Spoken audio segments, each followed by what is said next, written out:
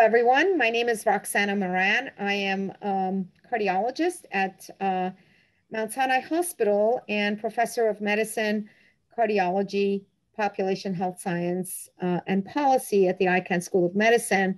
But today's conversation is all about my guests and incredible guests, uh, speakers, and we're going to have a fantastic con conversation on a whole new field of cardio obstetrics.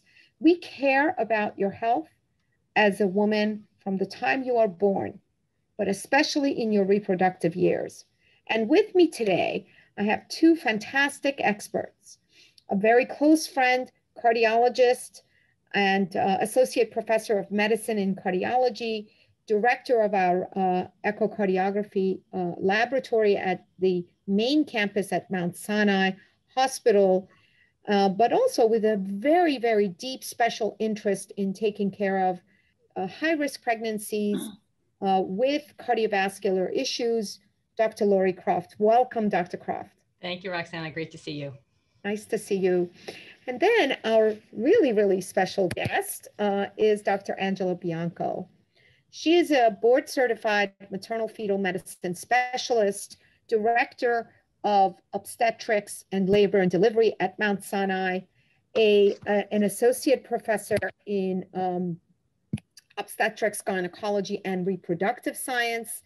And we're just so thrilled to have these two highly specialized, fantastic ladies here with us, caring for women with cardiovascular issues during their reproductive years. Welcome, Dr. Bianco. Thank you. It's a pleasure to spend this time with you. I know, I think it's really fantastic. So let's, you know, this whole new field, cardio obstetrics. Um, what does it really mean to you as a, a, maternal fetal medicine person, and how important is it for your patients who are at high risk to have that kind of input from a cardiologist?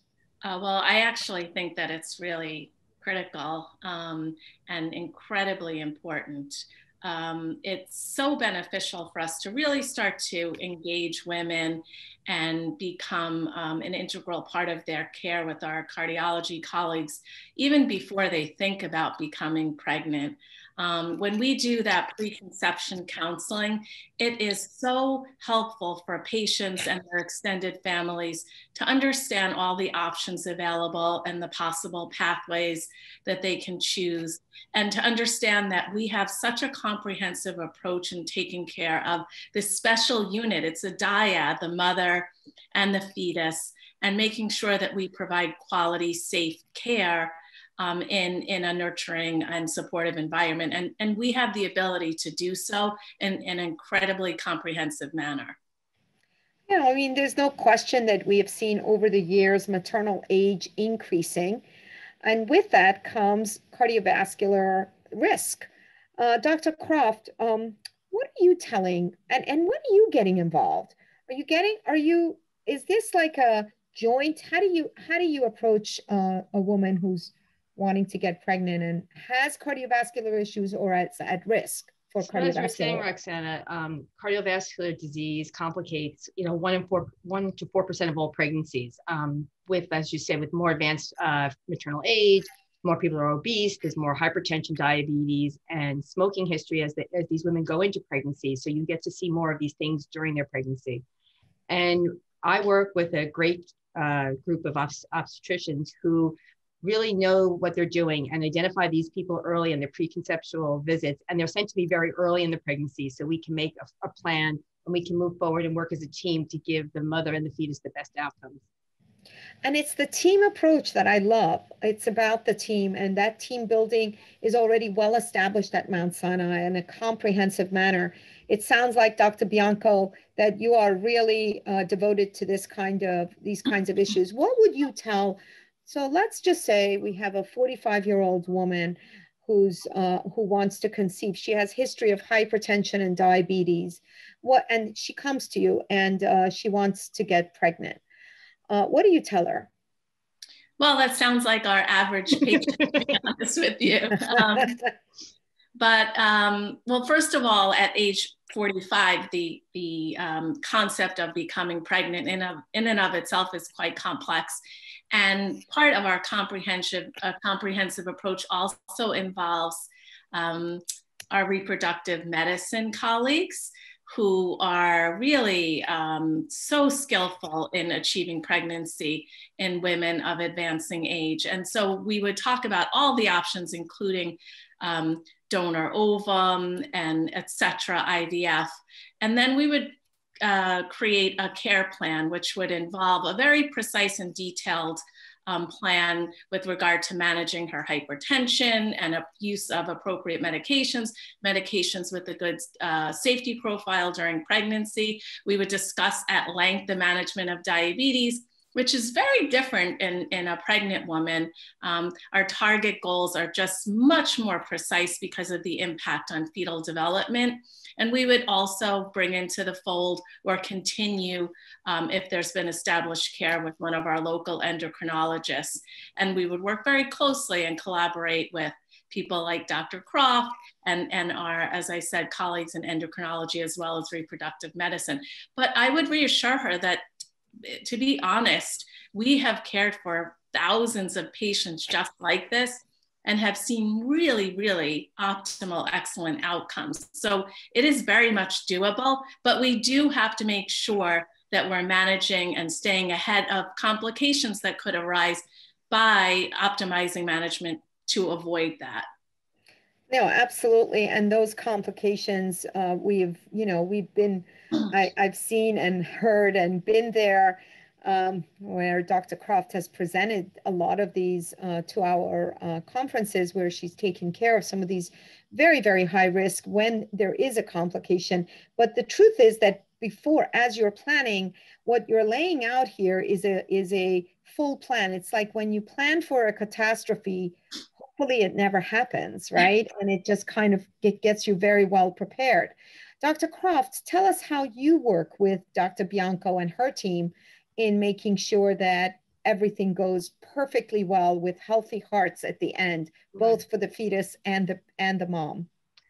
Well, as you know, um, in pregnancy, there's profound hemodynamic changes that occur, right? The cardiac output has to increase, so the amount of work the heart has to do. So, like Dr. Bianco said, we identify these patients early and we assess them based on their history, their physical, and whatever diagnostic testing you might need to make sure that their heart can handle this big burden during pregnancy. And for the most part, we have very healthy 45 year old women that can go through pregnancy.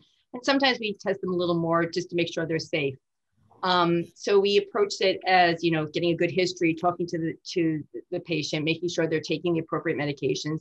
As you know, we use, you know, medications that are safe during pregnancy, but with with pregnancy, the pharmacokinetics are also altered. So you have to make sure you're on the right doses of these medications. You might need higher doses or lower doses depending on the patient.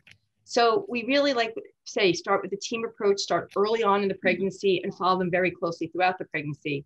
But in the in the end, we take thousands of these women through pregnancy and it's fairly safe and we are prepared for any complications that arise and just good communication between the doctors and the patient is really important. Yeah, so I'll go back now to the young woman who um, uh, has risk factors and feels, well, my age will help me get through the pregnancy and I won't have issues. And then into the third trimester or maybe early in the second trimester, you start to see those elevated blood pressures, elevated blood sugars, and you begin to start to worry about that. And then there is all of this other issues about clotting factors and heart failure and et cetera, et cetera, and the, the, the word of preeclampsia and obviously uh, urgency of, uh, of, of those matters. How do you all manage those, Dr. Bianco? What, what, what kinds of measures do you have and what do you think we have to do to make sure that the heart health of women are protected before, during, and after pregnancy? Well, I think that it is really critically important that when women um, seek gynecologic care with their established gynecologist, who may or may not be doing obstetrics, but they certainly have the skills to counsel women, it needs to be reinforced that, that these women, regardless of their age, whether they're 20 or 40, it's very, very important and helpful for you to continue to engage that relationship with your primary care provider, which may just be a gyneco gynecologist um, if you don't necessarily have um, a pre-existing disorder. But when you have these conversations and this established relationship, that provider can detail for you what's important and what you should achieve even before thinking about getting pregnant. So things like weight management, smoking cessation, checking routine labs, your hemoglobin A1C, your thyroid function. Uh, like Dr. Croft mentioned, a very detailed history, including a family history and assessing for cardiovascular uh, risk factors. All of those things can be performed way before um, a woman even thinks about getting pregnant. And that is going to set her up for the best possible outcome. But that being said, if we don't have the opportunity to do so for a variety of reasons, we could still try and get things done very quickly, even if it's periconceptually or in the first trimester, where we engage all the appropriate um, clinicians as well as the patient and, and her partner um, and, and, um, and optimize uh, care. No, absolutely. And so, Dr. Croft, tell us about how confident you feel for um, the care of a very complicated uh, woman with, let's say, postpartum heart failure or um, those kinds of things that are, you may not have even imagined that it would happen, the unexpected events.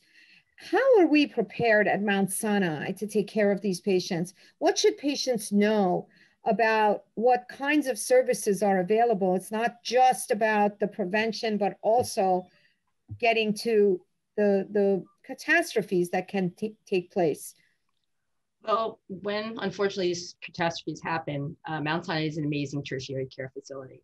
So not only do we have amazing specialists for the baby if they're delivered uh, preterm, the the neonatal intensive care unit here is one of the best in the city as well as the country. It's an amazing facility.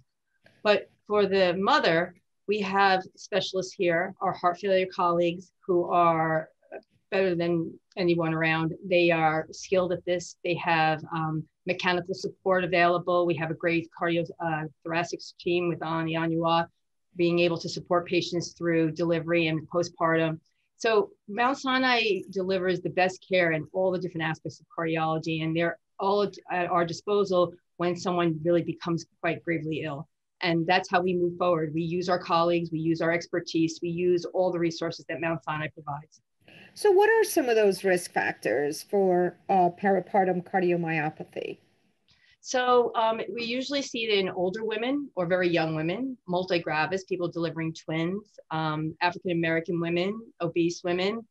Um, you know, anyone with it goes into a pregnancy with perhaps decreased left ventricular function to start with.